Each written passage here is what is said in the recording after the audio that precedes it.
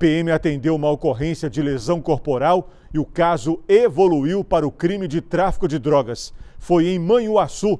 O suspeito não foi encontrado, porém a denúncia do delito precisou de apoio da equipe com o cão de faro Aquiles. No terreno em volta da casa foram encontradas próximo a uma bananeira uma pistola calibre 380 com 18 munições do mesmo calibre. O animal farejou ainda meia barra de crack, 26 pinos de pasta base de cocaína, três porções de rachixe e quatro tabletes de maconha. O sargento da PM, Hélio Bahia, conta como foi essa operação. Durante o atendimento de ocorrência de lesão corporal, a nossa equipe obteve informação de que o autor teria retornado para a casa dele e estaria portando uma arma de fogo. É, diante dessa informação, nós, nós comparecemos, contudo, o autor já não mais se encontrava.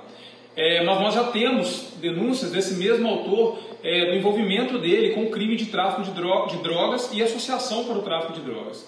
É, diante dessas denúncias, diante dessas informações pretéritas, nós acionamos a equipe Roca, que esteve no local com o cão Aquiles, que após farejamento por todo o lote, localizou é, enterrado aos pés de uma bananeira todo esse material. Então nós temos aqui uma arma de fogo, meia barra de crack, diversas pedras de crack, maconha prensada, rachixe e diversos pinos de cocaína. Todo o material aí foi apreendido e será é, encaminhado à delegacia de polícia civil que dará continuidade ao inquérito policial.